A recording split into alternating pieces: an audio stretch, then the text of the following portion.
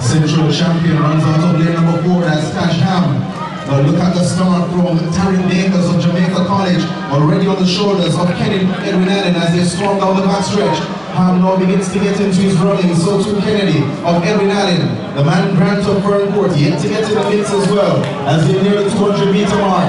Tarek Bakers leads the field based on the stagger, but look at Tajham from Home Technical, the man is class in this field. He was second at Carifta last year and looking to make the team again as they come into the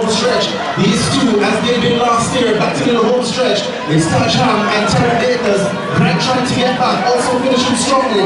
It's Douglas of Calabar on the inside and Kennedy on the outside, but Tash Ham is flying to the line. This is going to be quick.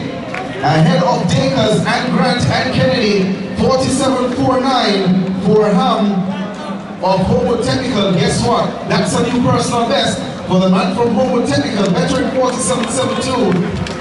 So he continues to lower his times, ladies and gentlemen. Give it up for Technical's Tash Ham, growing from strength to strength.